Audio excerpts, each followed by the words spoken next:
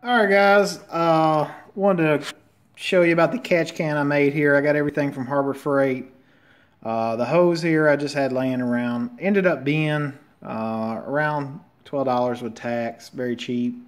The issue I'm having is that high revs with a high compression piston and cam, uh, the Chimera intake is basically a vacuum sucking oil into the throttle body. So after a long, hard run, five or six miles wide open throttle, I'd come home, turn the bike off, start it up a few hours later, and then puff out some smoke.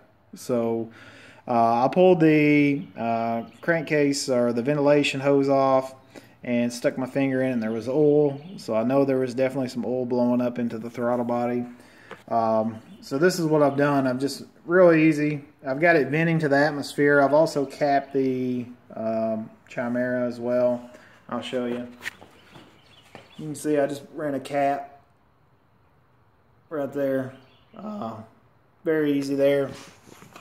And it's, it's pretty common. I mean, it's very common on the Groms, so uh, the Z is not uh, immune to it. But uh, this will stop you from having any oil or blow-by in your throttle body. Okay, so highly recommend it.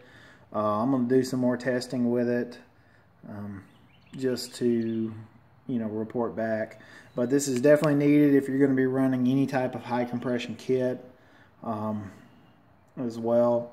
It's not very much money. You can get it at any harbor freight. Uh, they have it in stock so quite nice. But anyway guys thanks for watching and uh, I'll report back here once I get over 100 miles on the um, high compression piston and cam. So all right have a good one